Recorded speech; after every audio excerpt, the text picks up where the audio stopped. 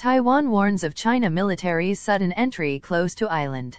Taiwan Defense Minister Chiu Kuo-cheng warned on Monday the island has to be on alert this year for Chinese military's sudden entry into areas close to its territory amid the rising military tensions across the sensitive Taiwan Strait. China has stepped up its military activities around Taiwan in recent years, including almost daily Air Force incursions into the island's air defense identification zone. However, Taiwan has not yet reported any incident of Chinese forces entering its contiguous zone, which is 24 nautical miles, 44.4 kilometers, from its coastline. Thank you for watching my video. For more videos stay connected and must subscribe my channel. Thank you.